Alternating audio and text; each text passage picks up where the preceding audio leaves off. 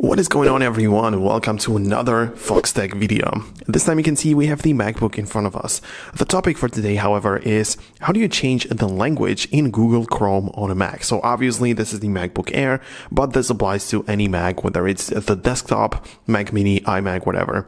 Anyways, if you of course want to change the language of the Mac, make sure you open it like this is the Google Chrome.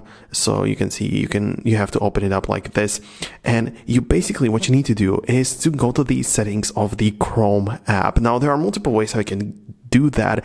First of all, you can click on the three dots right there.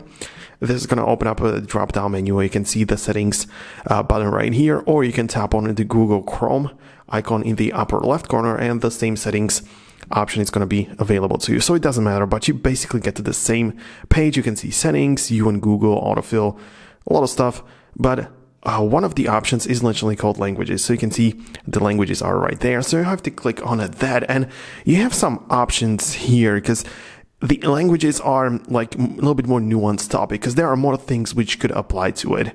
Guys, I want you to use your devices the best possible way and that's why I created this free education platform where you can find, as of right now, there's the video editing course, all apps explained, where you can find full guides for many different apps. We're constantly adding more to the list. It's free to access. Link is down below. Of course, the first thing is literally the preferred languages. So websites will show content in your preferred language when possible. So you can add the languages that you speak or that you understand, of course.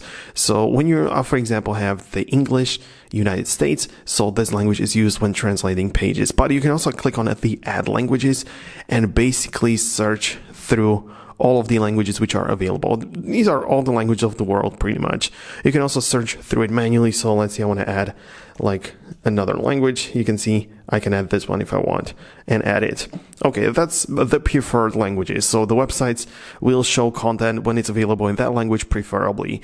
But you also have some other things in here when you scroll down a bit more. So you have the spell check.